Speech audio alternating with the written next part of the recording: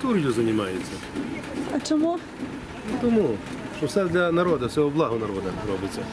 Перекрили залізницю. Залізницю, думаю, щось можливо всередині або зустрічають поїзд. Щось там неблагополучно, або всередині, можливо, замініровано.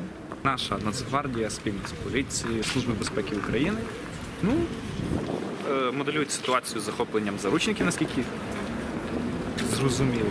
Ну і в принципі, поки все, що я знаю.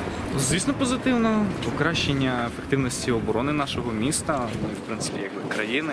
Ну і моделювання даних ситуацій, воно призвело до того, що е, особовий склад нашої Нацгвардії, особовий склад поліції, ну і звісно, Служба безпеки України буде ефективніше діяти.